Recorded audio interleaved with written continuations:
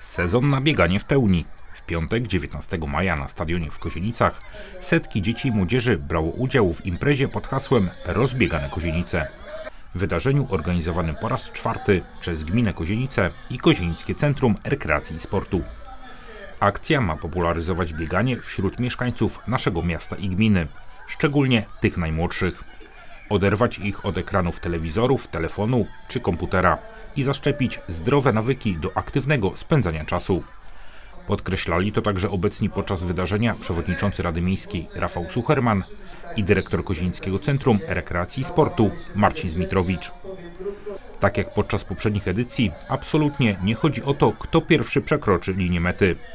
To bieg dla zdrowia i przyjemności. Najważniejszy był udział i pokonanie całego dystansu. Truchtem, sprintem, marszobiegiem, na ile komu wystarczyło sił, byleby dotrzeć do mety. Długość trasy uzależniona była od wieku uczestników. Najmłodsi musieli przebiec jedno okrążenie bieżni.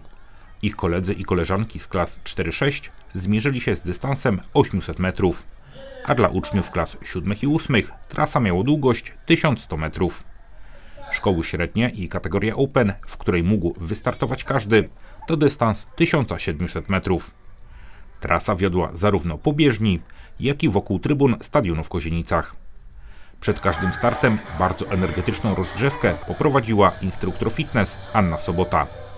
Gdy biegacze byli już dość rozgrzani, wyruszali na trasę biegu, a po pokonaniu dystansu otrzymywali baton energetyczny oraz wodę.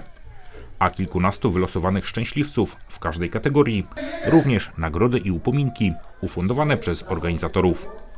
Całą imprezę poprowadził Piotr Łapiński.